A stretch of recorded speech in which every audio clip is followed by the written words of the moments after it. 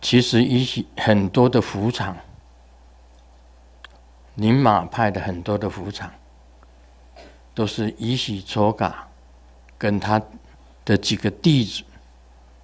他这他不只是佛母，他当了佛母以后，他也当了 master，也是当了上师。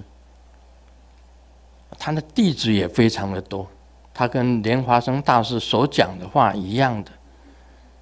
最后他讲，他根本没有死，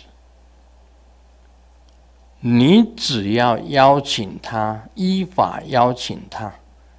他都会出现在大家的面前。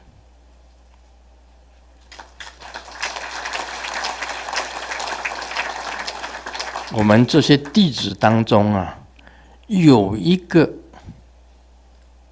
是一喜搓嘎的转世，这些弟子当中有一个是一喜搓嘎的转世，有一个另外有一个看到了一喜搓嘎，我相信他现在也看到了一喜搓